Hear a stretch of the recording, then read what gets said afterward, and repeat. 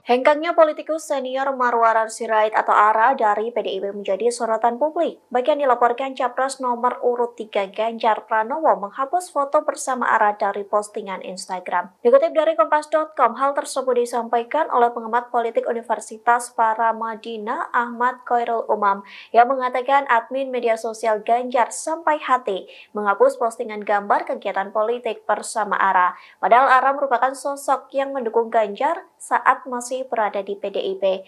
Lantas Umar mengatakan sikap tersebut menjadi salah satu bukti bahwa Ara tidak diberi peran di internal partai. Terlebih Umar menyebut Ara merupakan simbol politikus muda PDIP yang cerdas. Bahkan Ara dikenal sebagai simbol regenerasi ideologis. Pasalnya Ara merupakan putra politikus senior PDIP yakni Sabam Sirait yang merupakan loyalis Megawati Soekarno Putri.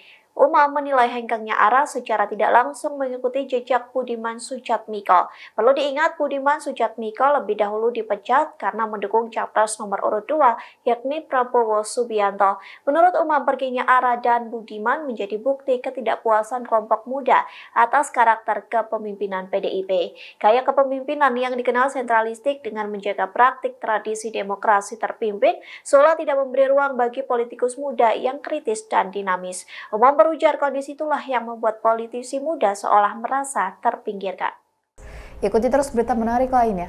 Jangan lupa like dan share seluruh akun Tribun Medan. Download Tribun X sekarang. Menghadirkan lokal menjadi Indonesia.